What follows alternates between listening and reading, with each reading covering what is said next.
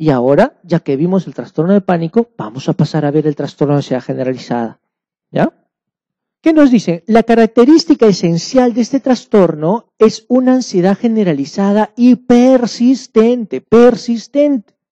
La otra era de, de intensidad 10, pero era una sola vez. Este, en cambio, está todo el día, intensidad 4 a 5, pero está, está, está, está y está. ¿Qué pasaría en este momento si pusiéramos acá una radio y le ponemos a todo volumen y empieza a hacer ruido? Sí, ustedes escuchan el ruido. Lo escuchan, lo escuchan, lo escuchan y van a decir, apágame esa radio. Y sigue escuchando, ¿eh? su reggaetón, ¿no? Sigue escuchando. Te le dicen, por favor, señor, apague esa radio y no la apaga. Apaga esa radio, no la apaga. Apaga esa radio, ¿no? Y le rompes la radio. ¿Por qué? Esa sensación que tenemos de molestia, ¿sí? Esa sensación que nos paraliza, que nos altera la concentración, que nos altera la atención, que nos altera la memoria, ¿sí? Cuando una persona escucha música a todo volumen de manera constante, es la misma que experimentan las personas que tienen ansiedad constante. Cuando la ansiedad es constante, no te puedes concentrar, tu atención disminuye, ¿sí? Es una molestia constante todo el tiempo, desde que te despiertas hasta que te duermes, vives así. ¿Ah? Vives así. Es esa misma sensación. Recuerden ustedes cómo se han sentido alguna vez cuando ha habido mucho ruido y han, y han pedido que la otra persona se calle. Pues eso mismo ocurre acá. Los árabes, nuevamente, para señalarlos, lo describían hace 300 años, un síndrome de este tipo, que ellos lo describían como el que una persona siente cuando está en una tormenta de arena. Las tormentas de arena se describen que llegan a ser tan fuertes que usted no puede ver nada y tampoco puede moverse ni caminar, porque todo está envuelto en arena. y hay una gran sensación de desesperación. Esa misma sensación es la que siente la persona con trastorno de ansiedad generalizada. ¿Y qué más? Nuevamente es más frecuente en mujeres y este sí, este trastorno está relacionado a estrés ambiental crónico. ¿Ya? Está relacionado con estrés ambiental crónico. ¿Qué más? Su curso es variable, pero tiende a ser fluctuante y crónico. Ahora, el afectado debe tener síntomas de ansiedad la mayor parte de los días durante al menos varias semanas seguidas. ¿Qué es lo importante señalar acá? Como les decía, acá la ansiedad va a estar de repente a niveles de 4 o 5, pero va a ser todo el día. ¿Sí? En el trastorno de pánico me iba de frente a 10, bajaba, estaba en 1, 1, 1, otra vez en 10. ¿Sí? Esto es como, en la crisis de pánico, es como pagar un préstamo en una sola cuota. Y esto es como pagarlo en cómodas cuotas mensuales, pero por largos años. Fastidia, incomoda, molesta hay algo muy importante en señalar acá, el estrés ambiental crónico. Los problemas que nosotros no podamos resolver a los 15 años y luego a los 20 y luego a los 25, ¿sí? Podrán pasarme la factura después. La sobrecarga laboral, el síndrome de Burnout, lo que hacemos nosotros en nuestros trabajos. Cuando empezamos a tener un solo trabajo, estamos tranquilos. ¿Sí? Cuando tenemos un solo trabajo. Cuando después vemos que necesitamos más dinero y empezamos a tener dos trabajos, empezamos a estresarnos un poquito. Cuando tenemos tres trabajos, ya estamos. Cuando tenemos cuatro trabajos, ahí sí. Hacemos síndrome de burnout. Aparte de ello, nuestras esposas se pelean con nosotros, ¿sí? Porque reclaman que estamos muy poco tiempo en casa. Se da el estrés ambiental crónico en un periodo de meses, meses y meses, y de pronto un día amaneces y te das cuenta de que estás ansioso y esa ansiedad no se va. Entonces, en los casos de trastorno de ansiedad generalizada, es importantísimo el tratamiento que vaya de la mano no solamente y no sea solamente farmacológico, sino sea también necesariamente psicoterapéutico. ¿Ya? La psicoterapia es indispensable en el tratamiento de los casos de trastorno de ansiedad generalizada. ¿Por qué? Porque acá sí hay relación con el estrés ambiental crónico. ¿Ya? A diferencia del trastorno de pánico, que no tenía eso. ¿Existirá algún tipo de tratamiento? Sí existe actualmente un tratamiento. Ahora, hay que diferenciar. ¿Qué cosa vamos a tratar? ¿La ansiedad hoy de forma urgente o la prevención de que me den más crisis o el tratamiento de mantenimiento. Y eso hay que diferenciarlo siempre. ¿Por qué? Porque serán las benzodiazepinas el tratamiento de elección para tratar de forma aguda los trastornos de ansiedad. ¿Qué benzodiazepinas? La que usted quiera, clonazepam, alprazolam, lorazepam, ¿sí? Pero su efectividad de estas suele disminuir al cabo de pocas semanas. Es por ello que tanto para el mantenimiento y control de los síntomas se use otro medicamento, como pueden ser los antidepresivos, ¿sí? Tanto inhibidores selectivos de recaptación de serotonina o duales que han demostrado una buena efectividad en este tipo de casos. ¿Ya? Eso es algo muy bueno. Entonces, cuando les pregunten a ustedes el medicamento, el tratamiento de elección en este tipo de casos, ustedes tienen que preguntar, momento, ¿qué tipo de casos? ¿Agudos o para el tratamiento preventivo? Siempre hay que hacer esa diferencia. ¿Ya? Bien, a manera de repaso, recordar, si tenemos que hablar de ansiedad, hablemos primariamente de lo que son los trastornos de ansiedad, dividirlos en los más importantes hasta ahorita, que hemos visto. Trastorno de pánico, que viene a ser casi igual que un terremoto, y el trastorno de ansiedad, que viene a ser como una radio que está encendida todo el día y no me deja concentrar, mi atención se interrumpe, mi memoria también se va a alterar por lo mismo y empiezo a tener problemas y la vida no se va a disfrutar igual. ¿Ya? Solamente para recordar un poquito. Ambos, el trastorno de ansiedad generalizada y el trastorno de pánico, son más frecuentes en mujeres. Y su tratamiento en las fases agudas se dará con benzodiazepinas y en las fases de mantenimiento o para prevención de nuevas crisis utilizaremos antidepresivos, que son fármacos muy buenos, fármacos nobles, el problema está en su costo, ¿ya? Pero tenemos muchas alternativas actualmente. Antes de hacer esta parte de trastorno obsesivo compulsivo, eh, quiero que recuerden un poco lo que han visto en cine, en series, hasta en novelas. Puede ser que ya antes inclusive de, ingresar a medicina hayamos visto casos o representaciones de casos de trastornos obsesivos compulsivos. ¿No? Porque siempre habrá alguna película donde aparece una persona que se lava mucho las manos, donde habrá una persona que cuenta mucho los números, donde existirá una persona que realiza un acto. Imagínense ustedes que el día de hoy yo salgo de mi casa, agarro las llaves, ¿sí? Y la cierro. Y cierro la, la puerta de mi casa.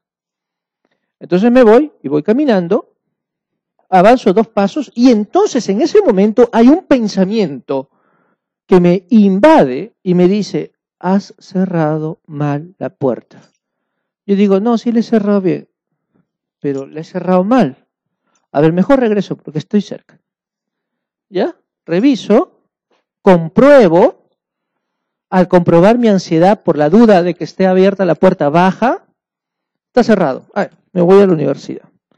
Esta vez ya no camino tres pasos, sino camino cinco pasos, seis pasos. Y de pronto trae el pensamiento.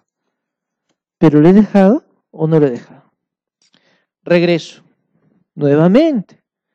La ansiedad está ahí. Está cerrado. Mi ansiedad vuelve a bajar. Ya, me voy, ahora sí ya es tarde. Voy, avanzo 10 pasos y digo, oh, otra vez.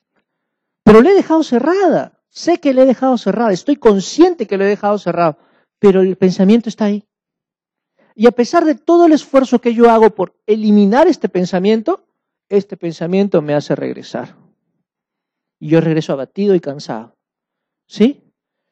Compruebo otra vez. Imagínense repetir esto cinco, seis, siete veces.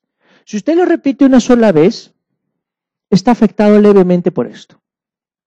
Si usted lo, lo, repite 20, 30 veces y no le permite llegar temprano a ningún lugar, ya lo está incapacitando.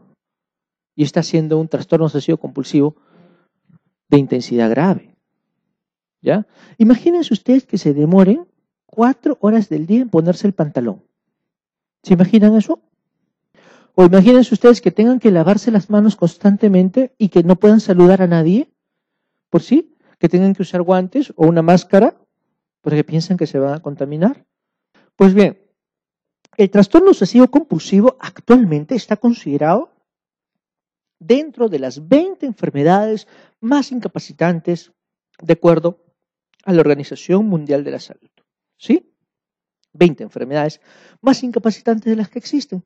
Porque este ejemplo que les dije nada más de un ritual de comprobación referido solamente a cerrar la puerta, puede quitarles dos a tres horas del día. ¿Ya? Imagínense ustedes ese sufrimiento. Hay teorías que hablan que lo que estaría explicando los trastornos obsesivos compulsivos serían alteraciones mediadas por el sistema serotoninérgico. Entonces, al postular eso, se supone que cualquier fármaco que tenga acción sobre la recaptación de serotonina va a ayudarme en el tratamiento de esto. ¿Sí? La mayor disponibilidad de serotonina en el espacio intersináptico podría ayudar en el trastorno obsesivo compulsivo. Lo que se ha visto hasta el día de hoy es que sí, que sí funciona y funciona muy bien. Vamos a ver. Si nosotros hablamos de trastorno obsesivo compulsivo, vamos a ver que la característica esencial de este trastorno es la presencia de pensamientos obsesivos o actos compulsivos recurrentes, ¿ya? Tiene que ser recurrente. Y para citar un poquito la palabra obsesio, ¿de dónde viene? Se dice que la palabra obsesio proviene del latín obsesio, que significa asedio. ¿Sí? Significa asedio. ¿Qué cosa era un asedio? Un asedio viene, es un término de guerra, ¿ya? Un término de guerra. ¿Quiénes lo acuñaron? Los romanos. Los romanos, unos genios para hacer la guerra, porque ellos no peleaban solamente con armas, sus armas muchas veces eran el pico y la pala.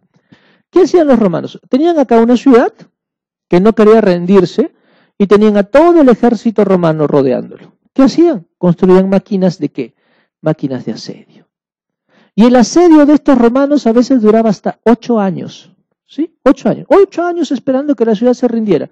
Bueno, ellos qué cosa hacían? Construían una ciudad alrededor de la ciudad que estaba este, sitiada, construían otra ciudad.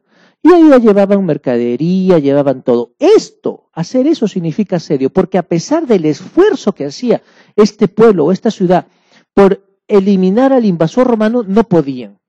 Eso mismo ocurre con nuestra mente. Nuestra mente quiere liberarse del pensamiento obsesivo, pero no puede. No puede. ¿Ya? Y eso genera un sufrimiento en el paciente. Este término de obsesión se trataría de una perturbación anímica producida por una idea fija, ¿ya? Una idea fija. Este pensamiento, sentimiento o tendencia aparecerá en desacuerdo con el pensamiento consciente de la persona, pero sin embargo persiste más allá de los esfuerzos, ¿sí? Por eliminarla, ¿ya? ¿Y qué cosa será una compulsión? Una compulsión está descrita como un impulso irresistible u obsesivo a la repetición de una acción determinada. Por ejemplo, acá, la más frecuente que existe, cerca del 50% de casos reportados, nos habla que las obsesiones más frecuentes son las obsesiones de contaminación. ¿Sí? ¿Con qué rituales? Con rituales de limpieza. ¿Ya? Con rituales de limpieza. Y en segundo lugar, estará qué cosa?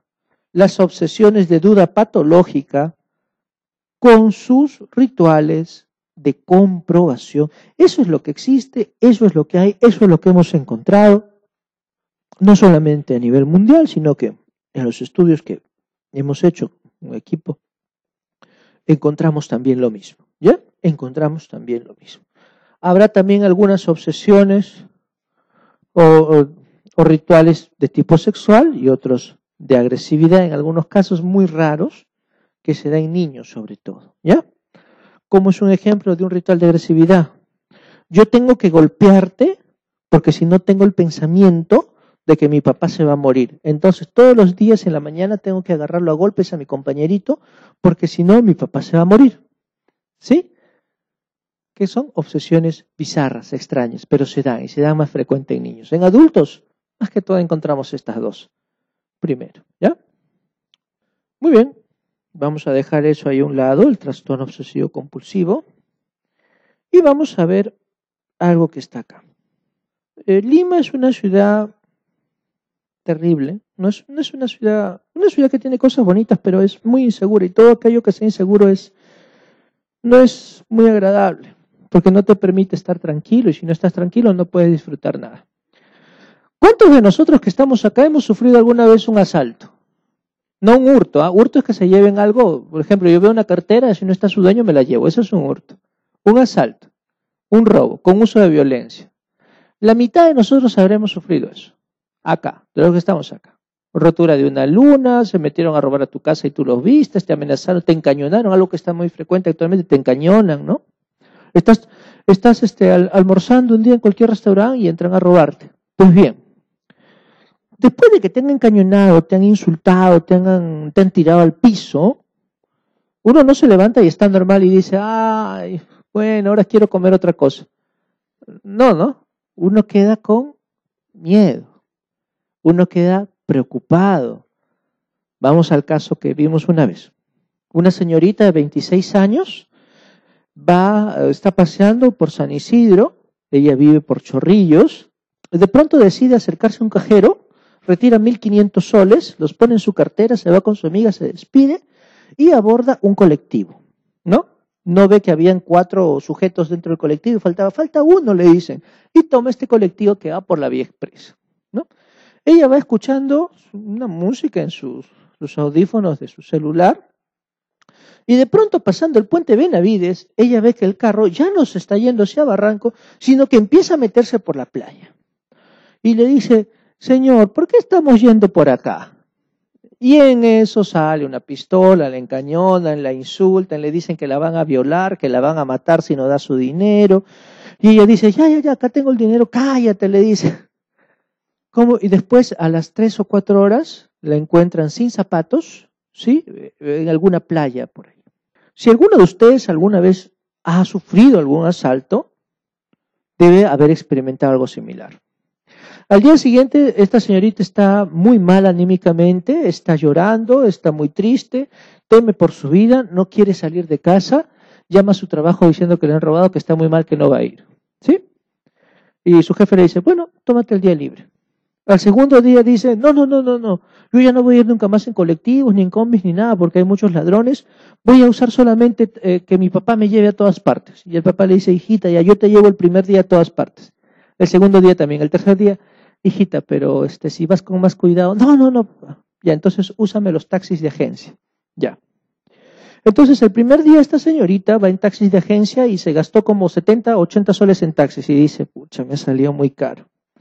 Al tercer día, no, voy a tomar taxis amarillos. Al cuarto día dice, estoy gastando mucho, ahora me voy a ir mejor en combis otra vez.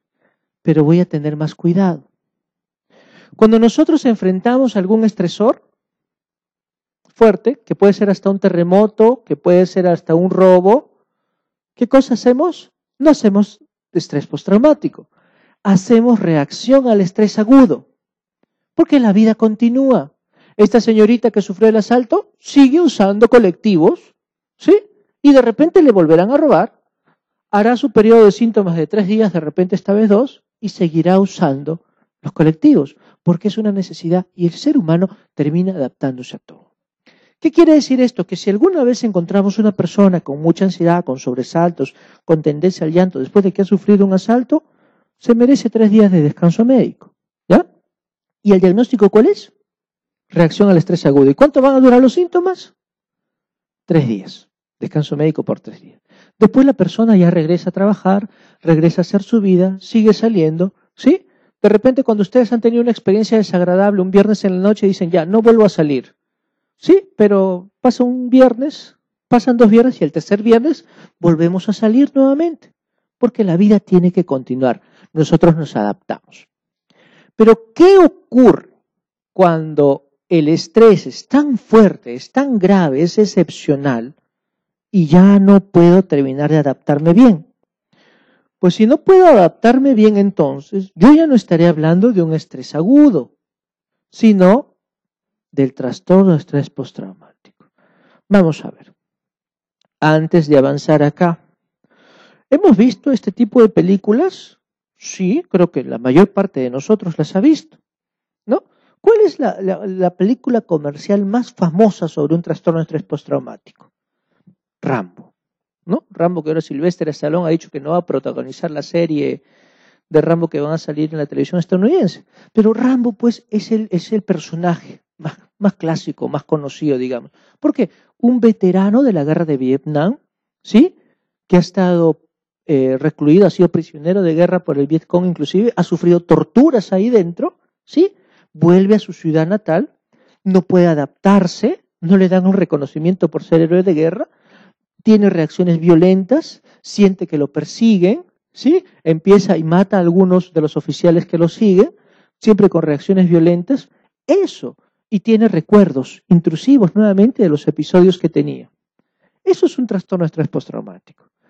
El trastorno de estrés postraumático surge como respuesta tardía a un estrés o a una situación que puede ser breve, ¿sí? Como por ejemplo el señor que se está quemando su auto con su esposa adentro, por eso se pone tan mal, que hay casos así, ¿no? Eh, no sé si vieron el caso de este, de, este, de este accidente que ocurrió en la Panamericana Sur, donde estaba el esposo a este lado y acá la, señora con, con, el, con, el, bebé y otro bebé y un camión pasó encima de ellos. Y el señor sobrevivió. Es desgarradora la imagen de ver al hombre abrazando a su bebé, ¿no? ¿Sí? Eso te puede dar un trastorno de estrés postraumático. Pero tú has visto ahí que ha venido un camión y mata a tu esposa y a tu hijo acá y tú no tienes nada. Nada. Estás completamente ileso. Tremendo. Tremendo el impacto que pudo haber soportado ese hombre. Pues acá un caso similar. Y mire, eso ocurre solamente cuando es de naturaleza excepcionalmente amenazante o catastrófica. ¿Qué ocurre cuando ya empiezas a acostumbrarte al, al estresor? Pues va a ser más difícil que te produzca un trastorno de estrés postraumático. ¿Sí? Por eso que después del terremoto que sucedió en Ica, ¿sí? en Pisco exactamente, no hubo muchos reportes de que de trastorno de estrés postraumático. Uno que otro, no muchos. La mayoría hizo reacción al estrés agudo los tres primeros días, algunos hicieron trastorno de adaptación, pero muy pocos hacen esto. Porque hay que analizar la naturaleza del estímulo y su impacto en persona a persona. Ahora, este trastorno no debe ser diagnosticado a menos de que no esté totalmente claro que ha aparecido dentro de los seis meses posteriores a un hecho traumático, ¿ya? Seis meses posteriores. Nuevamente, ¿qué cosa hay? Hay episodios reiterados de volver a vivir el trauma, ¿ya? De falta de capacidad de respuesta al medio. No puedes adaptarte, ¿ya? Una película también de, Josué Méndez Díaz de Santiago también, ¿no? ¿Sí? Un licenciado de las Fuerzas Armadas que ha servido en zona de emergencia que no puede adaptarse a la ciudad capital. ¿sí? Suelen evitarse acá en el trastorno de estrés postraumático situaciones que recuerdan el trauma, ¿ya? En ocasiones pueden presentarse estallidos agudos de miedo, pánico o agresividad. Si quieren ver una buena representación cómica, cómica de esto, hay un sketch, ¿no? Que también utilizan a Rambo para esto. Uno que hace este comediante, es muy bueno, Jorge Benavides, donde hace una representación exacta de lo que es un trastorno de estrés postraumático. ¿Sí? ¿Por qué? Porque hay conducta evitativa. ¿Cuál es la conducta evitativa? ¿Cómo empieza el sketch? Aparecen dos personas que le dicen, Rambo, tú sabes que viene de la guerra, ¿sí? Entonces no le recuerdes la palabra gato. Pero ¿por qué no le voy a recordar la palabra gato? Porque el momento en que tú le recuerdes la palabra gato, él va a ser un estallido de violencia y te va a agredir. Pues si todos nosotros recordamos lo que hemos visto ese sketch, ¿qué pasaba? Siempre le tenían que decir la palabra que no debían decirle. ¿Eso provocaba qué cosa? Episodios de volver a revivir el trauma y explosiones de agresividad. Toda la secuencia en dos minutos. ¿Se dan cuenta? Entonces, muy bien representado, porque eso es lo que ocurre en este tipo de personas. Cuando nosotros le preguntamos a las esposas o a los hijos de personas que están afectadas por trastorno de estrés postraumático o a, los esposos, cuando es el caso de la mujer, nos hablan que ya es una persona completamente distinta. Ya no es la misma persona. Por eso, cuando a un oficial del ejército, de la Policía Nacional, se le diagnostica trastorno de estrés postraumático, tiene que solicitar su baja inmediatamente. Porque es esto, es incapacitante. ¿Ya? El trastorno estrés postraumático es una enfermedad incapacitante también. Imagínense ustedes que son tripulantes de cabina, ¿sí? Y en eso el avión se cae, tiene un accidente y solamente hay dos sobrevivientes. Y usted, a, uno de ellos, eh, su colega, que también es tripulante de cabina, ha sobrevivido, pero no hace trastorno estrés postraumático. A esa persona le dirán, usted puede seguir volando. Pero la persona que hizo el trastorno estrés postraumático ya no puede volar. ¿Por qué? Suele evitarse. Situaciones que recuerdan el trauma. Nos dimos cuenta. Entonces la persona va a querer ir a volar si tiene trastorno estrés postraumático producido de un accidente aéreo. Pues no. Y si yo lo obligo a volar, estoy atentando contra sus derechos. Porque la persona tiene una enfermedad que es incapacitante específicamente para esa actividad. Y por último, acá, en los que están señalados acá, vamos a pasar a ver lo que son los trastornos de adaptación. ¿Ya? Los trastornos de adaptación. ¿Qué cosas son los trastornos de adaptación? Todos nosotros hemos atravesado en nuestras vidas alguna vez algún trastorno de adaptación. Todos los que estamos aquí, ¿ah? Nadie se salva. ¿Por qué? Porque los trastornos de adaptación son estados de malestar subjetivo acompañados de alteraciones emocionales que interfieren con la actividad social y que aparecen en el periodo de adaptación a un cambio significativo o a un acontecimiento vital estresante. ¿Y cuáles son los más frecuentes? Las decepciones amorosas. ¿Ya? Las decepciones amorosas son la causa más frecuente de los trastornos de adaptación.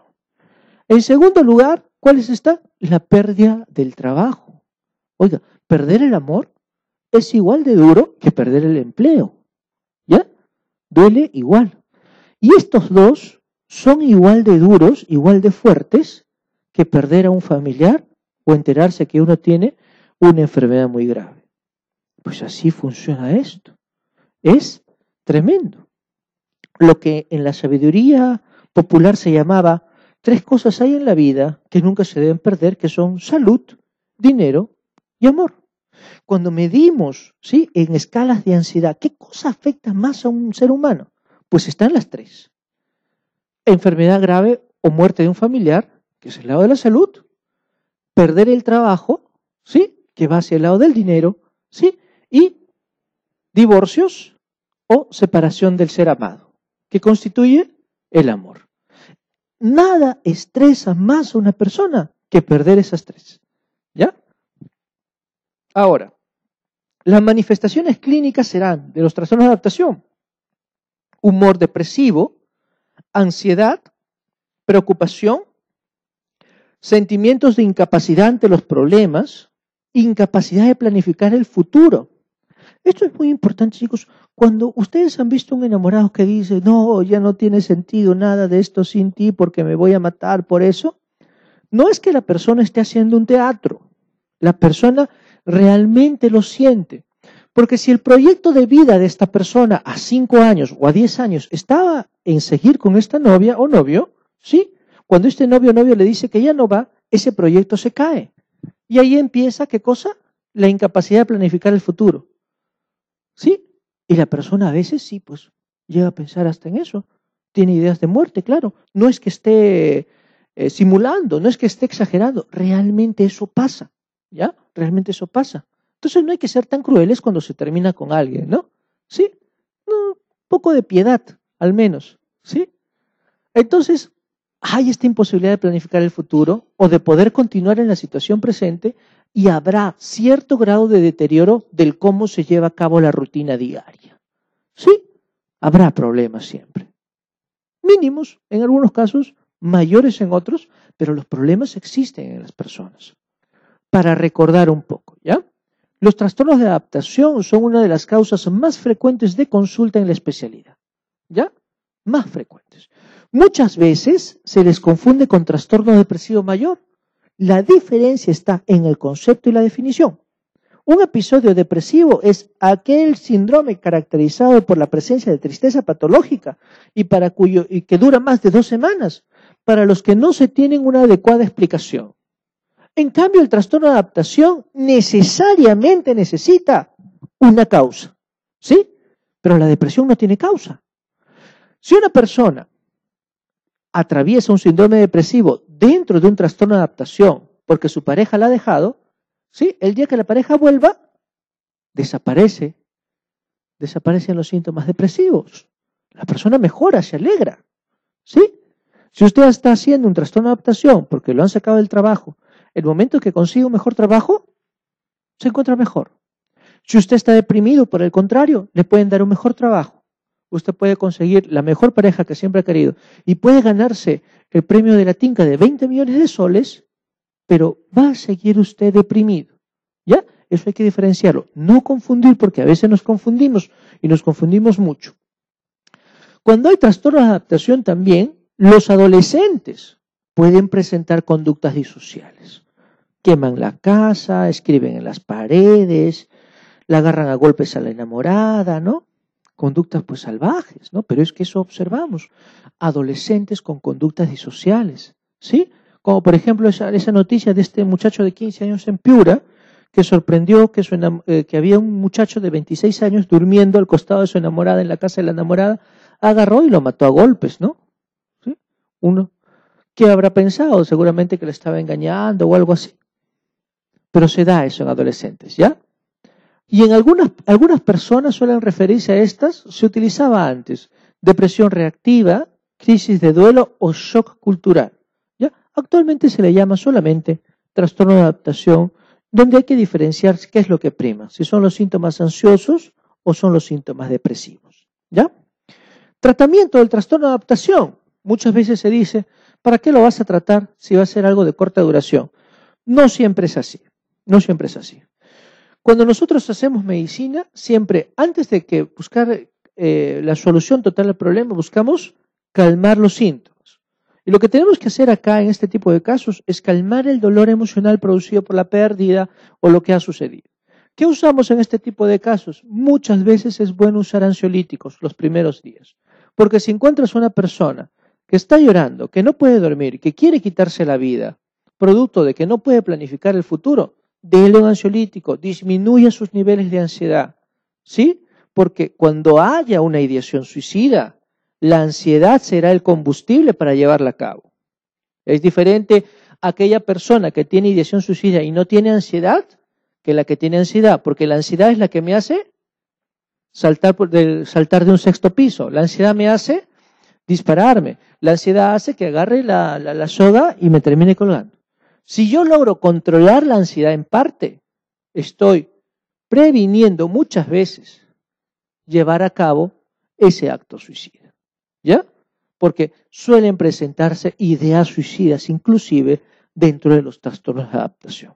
De corta duración, desaparecen. ¿Sí? Desaparecen.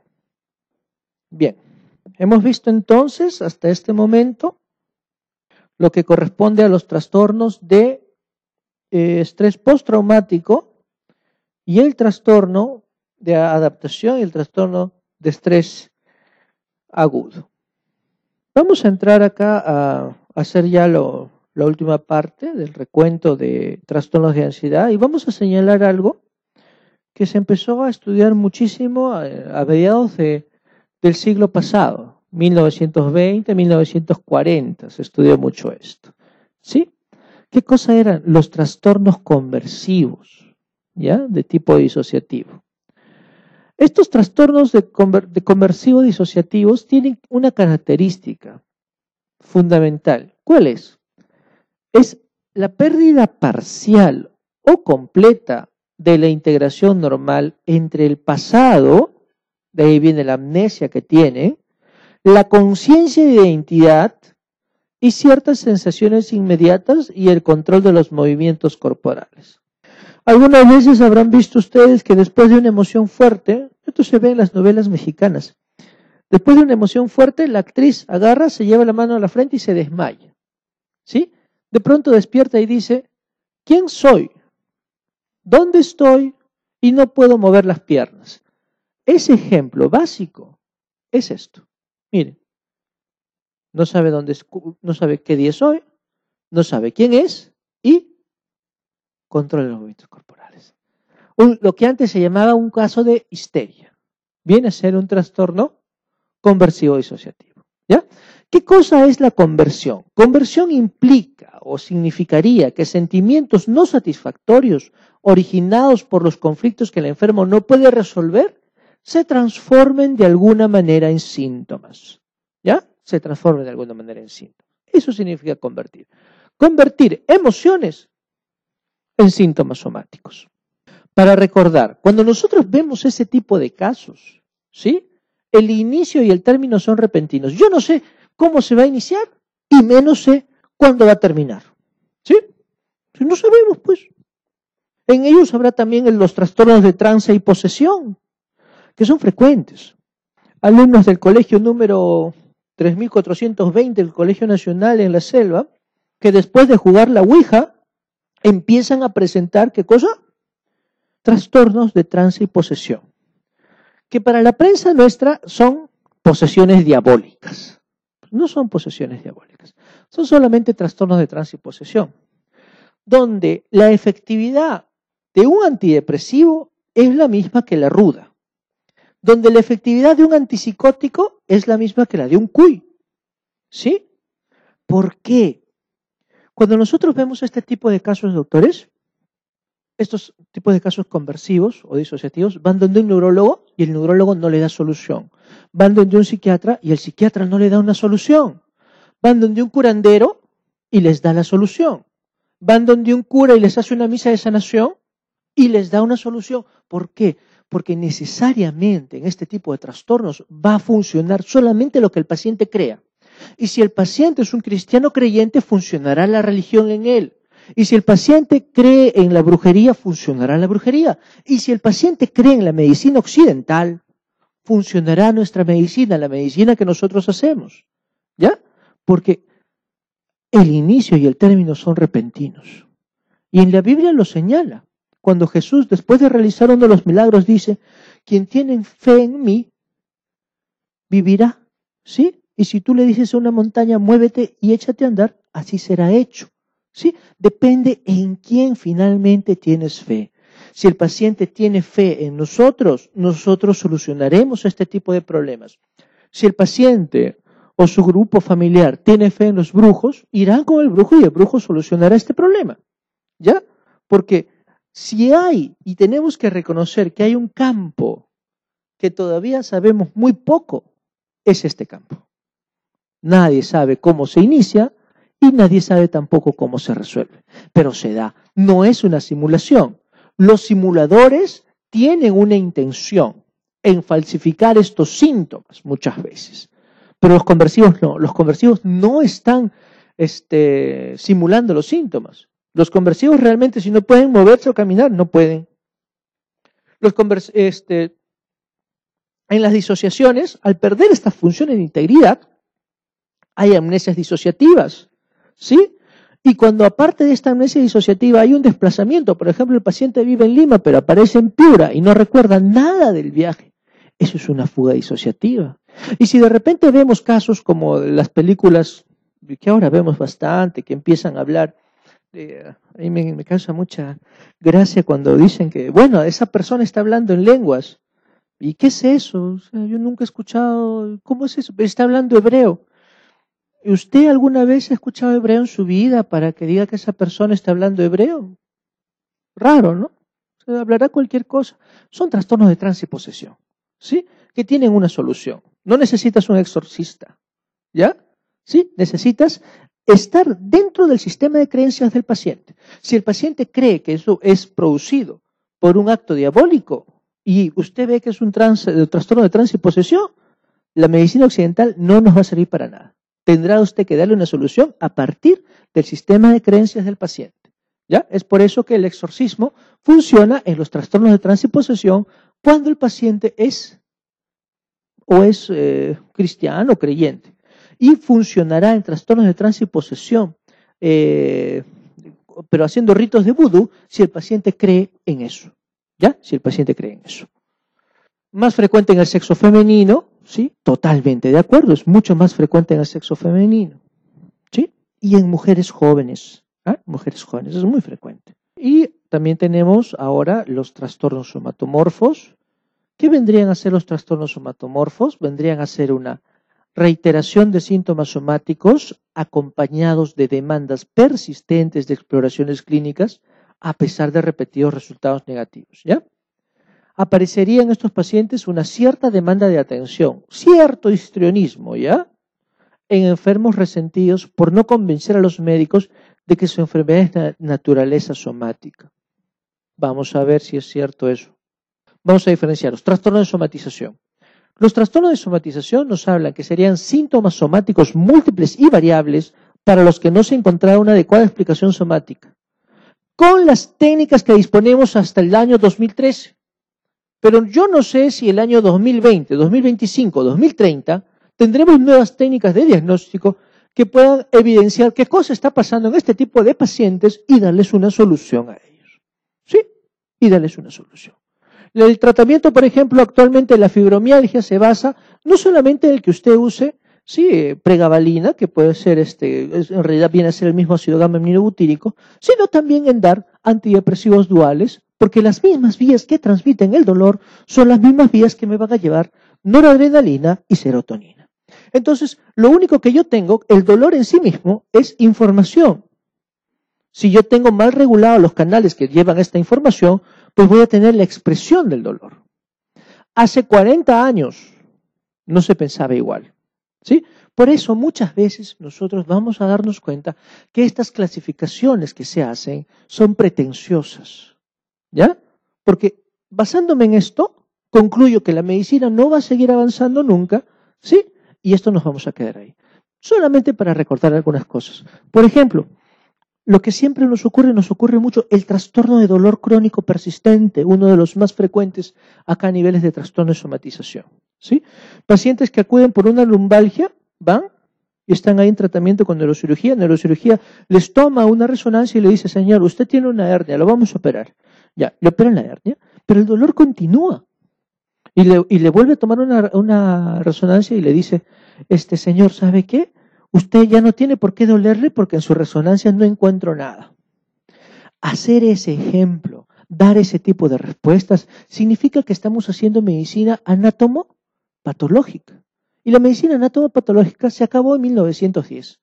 Sí, cuando se acaba el positivismo, se acaba la medicina anatomopatológica. Después hemos pasado a la medicina fisiopatológica y luego hacemos medicina etiopatogénica y actualmente hacemos medicina molecular e inclusive estamos haciendo medicina a nivel social con interacción a nivel de ADN mitocondrial. Esa medicina es la que vamos a hacer ahora y la que estamos haciendo en todas partes del mundo. Por eso decirle a un paciente, oiga, usted no siente dolor porque en su resonancia no ha encontrado un bulto, estamos haciendo medicina de 1900-1910. Y creo que ninguno de nosotros vamos a ser tan poco asertivos cuando un paciente venga con dolor. Porque lo importante en este tipo de casos es poder ponerse en el lugar del paciente que está experimentando un dolor, un dolor que existe, y poder ser más considerado con él y darle ciertas alternativas. El momento que usted pueda brindarle una alternativa, una esperanza a este paciente, simplemente su nivel de ansiedad disminuyen y la percepción del dolor que tenía va disminuyendo. ¿Ya? No hay nada que alivie más el dolor en un paciente con trastorno de dolor crónico, fibromialgia, que una buena relación médico-paciente. ¿Ya? Es lo que mejor le va a este tipo de pacientes. Y los trastornos hipocondríacos, por último. Por último aquí. Miren acá. Esta es una imagen clásica, ¿ya? Es una imagen clásica, también un poquito antigua, pero creo que todos nosotros la hemos visto. Una persona, un estudiante casi siempre de medicina, porque está con un libro acá, y lo digo así, porque todos nosotros debemos haber tenido algún compañero que tenía, que era hipocondríaco, ¿no? Que cuando empezamos el capítulo de neurología, ¿sí? Que le decía, consultaba al profesor y le decía, yo tengo un dolor en la cabeza que siempre me molesta. Pasábamos por cardiología y le decía, tengo, no sé si tendré algo en el corazón, puede tomarme un ecocardiograma. Y después termina, no sé si tendré algo en el colon, pondré a hacerme una colonoscopía. Sí, enfermedades graves que van migrando. Los trastornos hipocondríacos, la característica esencial de este trastorno es la preocupación persistente de la posibilidad de tener una o más enfermedades somáticas graves progresivas. Y acá miren al paciente, ¿no? Va bajando, va bajando, va bajando, va bajando, dependiendo en qué parte del libro se encuentre. ¿Sí? Ahora ya creo que ninguno de nosotros usamos libros, ¿no? Es bien difícil de cargarlos. Y ahora con los medios electrónicos todo se ha hecho mucho más sencillo, pero esta es una, esta es una imagen que representa un poco de forma caricaturesca la historia, ¿no? Eh, cuando nosotros estudiábamos el, con medicina interna, Harrison pesaba más de 12 kilos. El Farreras estaba por ahí también. Entonces era tremendo. No, ahora puedes llevar toda la información en una tablet y es algo maravilloso. Ahora, los pacientes hipocondriacos nunca le van a creer las explicaciones a los médicos que ven su caso. ¿Ya? Y muchas veces buscan dominar y manipular a su familia en torno con sus síntomas. ¿Por qué? Porque reclaman atención y hay demandas de atención de este tipo de pacientes. ¿Ya? De este tipo de pacientes.